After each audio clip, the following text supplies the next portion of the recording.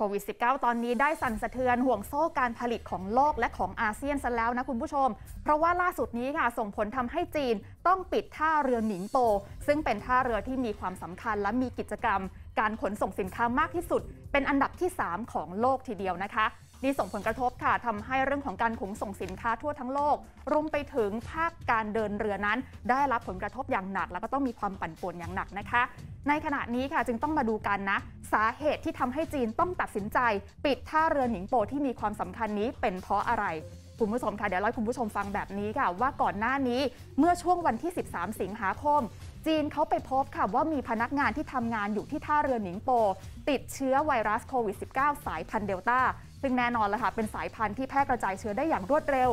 แล้วท่าเรือหนิงโปนี้ มันดันมีที่ตั้งอยู่ใกล้กับท่าเรือเซี่ยงไฮ้ค่ะ ซึ่งท่าเรือเซี่ยงไฮ้นี้สำคัญยิ่งไปอีกคุณผู้ชม เพราะว่าเป็นท่าเรือที่มีการขนส่งสินค้ามากที่สุด เป็นอันดับที่ 1 ของโลกทีเดียวนะคะเพราะฉะนั้นจีนปล่อยให้พลาดไม่ได้เด็ดขาด ไม่อย่างนั้นส่งผลกระทบถึงระดับโลกแน่นอนค่ะมาดูที่ท่าเรือที่เกิดปัญหานี้นะคะ ท่าเรือหนิงโป terminal ที่ต้องปิดไปคุณผู้ชม นับได้ว่าดูแลเรื่องของการขนส่งสินค้ามากถึง 25%นะคะหรือว่าร้อยละ 25 นั่นเองของท่าเรือ โดยที่นี่ไม่ใช่ครั้งแรกนะคุณผู้ชมที่จีนเขาต้องสั่งปิดท่าเรือ แต่ว่าก่อนหน้านี้ค่ะช่วงเดือนพฤษภาคม ก็ได้มีการสั่งปิดท่าเรือมาแล้วครั้งหนึ่งนะคะ เป็นท่าเรือที่มีชื่อว่า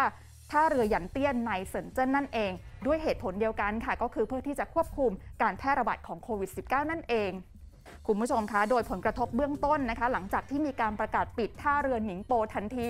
ได้ส่งผลให้ค่ะในวันที่ 17 สิงหาคม เพียงแค่วันเดียวนะคะ เราพบว่ามีท่าเรือที่จะต้องมารองรับนะท่าเรือหนิงโปที่ถูกปิดไป นั่นก็คือท่าเรือเซี่ยเหมือนนั่นเอง เฉพาะวันเดียวนะคะ โดยปกติแล้วท่าเรือเซี่ยเหมือนจะมีเรือมาจอดเทียบท่าอยู่ 6 ลำด้วยกัน ปรากฏว่าทำให้มีเรือมาเทียบท่าเพิ่มขึ้นถึง 4 เท่าตัวนะคะ ก็คือกว่า 24 ลำเลยละค่ะคุณป๊อป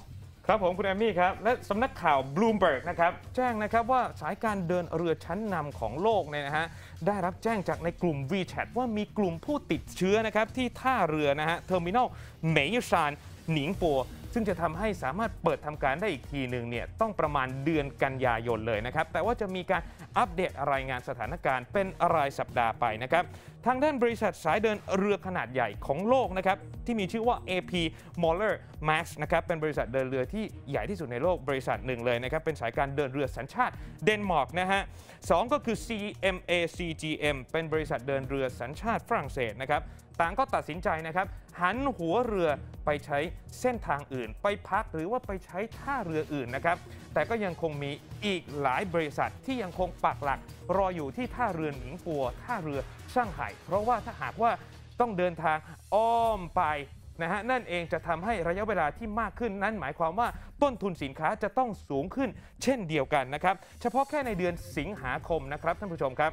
มีเรือ จอดอย่างแออัดคับข้างอยู่ที่ท่าเรือช่างไข่ แล้วก็หนิงปัวเนี่ยถึง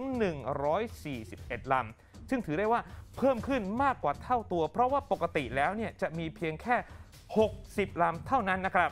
ค่ะเมื่อสักครู่นี้ก็คือภาพรวมของผลกระทบที่เกิดขึ้นในเฉพาะประเทศจีนนะคะ แต่สำหรับทั้งภูมิภาคอาเซียนละคะแน่นอนแล้วค่ะท่าเรือหนิงโป มีมูลค่านะคะในการขนส่งต่อวันเนี่ยมหาศาล เมื่อมีปัญหากระทบทางอาเซียนแน่นอน เดี๋ยวให้คุณผู้ชมมาประมวลกันนะคะ ว่ามันส่งผลไปไกลถึงขนาดไหนค่ะท่าเรือที่ได้รับผลกระทบคุณผู้ชม นอกจากที่ท่าเรือเซี่ยเหมินที่จีนแล้วนะคะ ที่มีเรือมารอท่ามากถึง 24 ลำด้วยกัน ตอนนี้ค่ะท่าเรือโฮจิมินห์ซิตี้ของเวียดนาม ก็มีเรือที่ต้องมาจอดค้างตึงรอท่าอยู่อีก 9 ลำนะคะท่าเรือแหลมฉบังของไทยก็ด้วยเช่นเดียวกันนะคะ ที่ได้รับผลกระทบถึง 12 ลำที่ต้องมาจอดรอกันอยู่ค่ะท่าเรือตันจุงปริโอกอินโดนีเซีย เรือรอท่า 10 ลำ สิงคโปร์รอท่า 13 ลำ ลองบีชลอสแองเจลิสนะคะไปไกลถึงสหรัฐอเมริกา ก็ได้รับผลกระทบมากถึง 31 ลำด้วยกัน ต่อเนื่องมาเป็นท่าเรือเซินเจิ้นนะคะ รอ 41 ลำค่ะ ครับผมเราจะเห็นได้นะครับว่าถ้าหากว่าเกิดอุปสรรคเกิดปัญหาขึ้นที่ท่าเรือแห่งหนึ่งนะครับ ยกตัวอย่างเช่นสำคัญสำคัญเช่น ช่างไข่หนิงปัวเนี่ยนะฮะกระทบเป็นวงจรไปทั่วโลกเลยนะครับท่านดอนทิรานะครับ CEO สมาพันธ์อุตสาหกรรมโลจิสติกนะฮะหรือว่า Sourcing Industry Group นะฮะเปิดเผยว่าเวลานี้ มีสินค้าตกค้างที่ท่าเรือมากเลยนะครับ เพราะว่าท่าเรือเนี่ยมีความแออัดมากขึ้น และเตือนว่าการปิดทำการท่าเรือเนี่ยกระทบต่อต้นทุนสินค้าอย่างแน่นอนรวมถึงระยะเวลาการรอคอยสินค้าที่เพิ่มมากขึ้นด้วยนะฮะอุตสาหกรรมการเดินเรือเนี่ยในปีนี้ต้องแจ้งให้ทราบว่าได้รับผลกระทบมากมายเหมือนจะมีอุปสรรคมากเหลือเกินนะครับ นั่นเองทำให้ค่าระวางสินค้า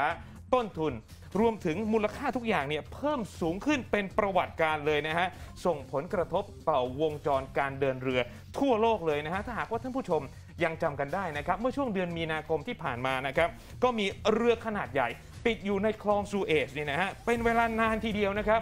สองนะฮะเรื่องนี้นะครับก็คือการระบาดของไวรัสในเอเชียตะวันออกเฉียงใต้ รวมถึงในจีนด้วย ส่งผลกระทบต่อประสิทธิภาพการทำงานของท่าเรืออย่างแน่นอน ล่าสุดก็หยุดชะงักไปแล้วนะฮะ เรือสินค้าขนาดใหญ่เกิดไฟไหม้อีกนะครับในน่านน้ำศรีลังกานะฮะรวมไปถึงการขาดแคลน ตู้คอนเทนเนอร์ในการขนส่งสินค้าทั่วโลก ค่ะ ผลกระทบใหญ่ระดับโลกจริง ๆ นะคะ คือเหตุเกิดที่จีนแต่ส่งผลไปถึงอีกซีกโลกหนึ่งที่ท่าเรือลองบีชของสหรัฐรวมถึงท่าเรือที่ใหญ่ที่สุดของเวียดนามทั้งสองแห่งด้วยนะคะ ก็ทำให้ตอนนี้เวียดนามประสบกับปัญหาลำบากเหมือนกันเรื่องของภาคการส่งออกค่ะ